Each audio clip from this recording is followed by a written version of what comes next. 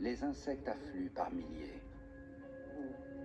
Quand ils se posent sur une fleur pour se nourrir de son nectar, ils se couvrent de pollen. Ils déposeront ensuite ce pollen sur les autres fleurs qu'ils butineront. C'est ainsi que se fait la pollinisation. Et l'électricité joue un rôle clé dans ce processus.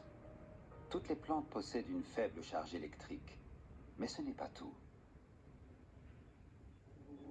Les insectes volants se chargent électriquement dès qu'il y a une friction entre leurs ailes et les molécules d'air.